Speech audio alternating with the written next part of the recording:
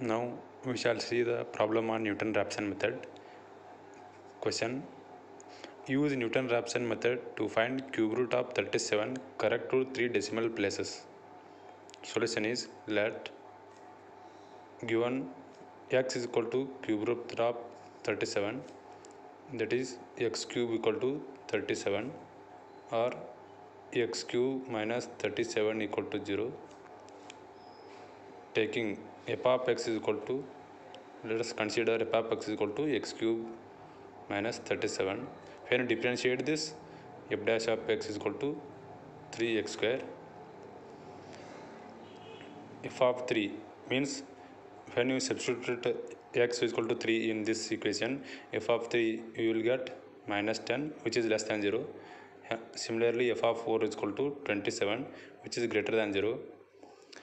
now we, we shall uh, find the where the root lies in. That is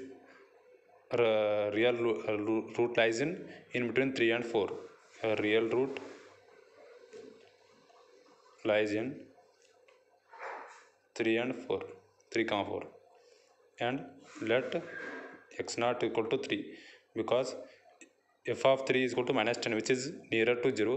hence here in this problem x naught is equal to 3 the basic formula is xn plus 1 is equal to xn minus f of xn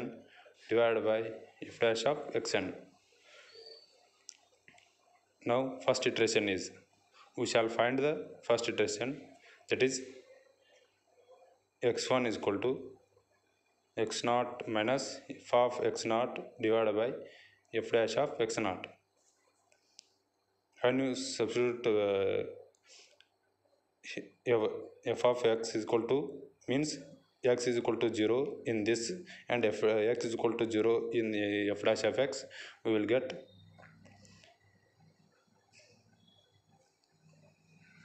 we will get values like this. 3 minus 3 3 cube minus 27 divided by 3 into 3 square. That is x1 is equal to 3.3704 similarly second iteration is that is x2 is equal to x1 minus f of x1 divided by f dash of x1 that is 3.3704 minus 3.3704 whole square minus 37 divided by 3 into 3.3704 square that is value x2 is equal to 3.3327 that is final. Third iteration is x3 is equal to x2 minus f of x2 divided by f dash of x2 that is 3.3327 minus 3.3327 square minus 37 divided by 3 into 3.3327 square. That is finally x3 is equal to when you do this calculation x3 we will get x3 we will get 3.3322